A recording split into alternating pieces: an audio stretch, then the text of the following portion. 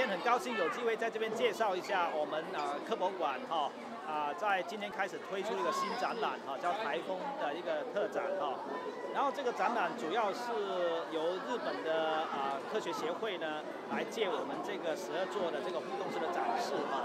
然后这个互动式展示主要是跟我们介绍了跟台国啊台风相关的物理学科学原理哦。比如说像气压，你怎么样体验这个气压的变化，对我们身体感受的一个一个一个情形哦。那还有就是一些互动式展示呢，告诉我们。啊，为什么在赤道附近是不会形成台风的？那台风形成过程里面，当热空气上升之后，旁边周边的这冷空气怎么钻进来，怎么替换进来，然后形成漩涡，这些都是呢，我们透过一系列的互动式展示来告诉观众。所以在这边，观众啊，除了就是过去我们了解书上的一些基本知识，来这边的话，你可以很清楚的。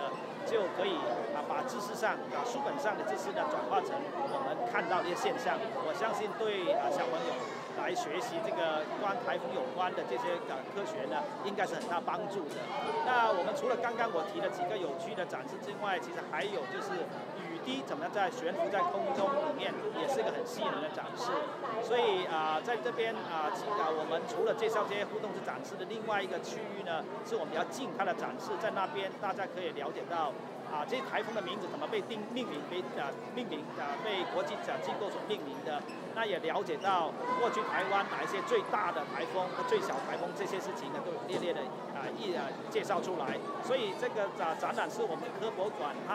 啊日本科学协会还有高雄的啊科学工艺博物馆一起来合作的。那所以我们希望在短馆展中的三个月里面呢，观众都能够来啊热烈参与。那我们还有很多的展演呢，会在周六。周日呢啊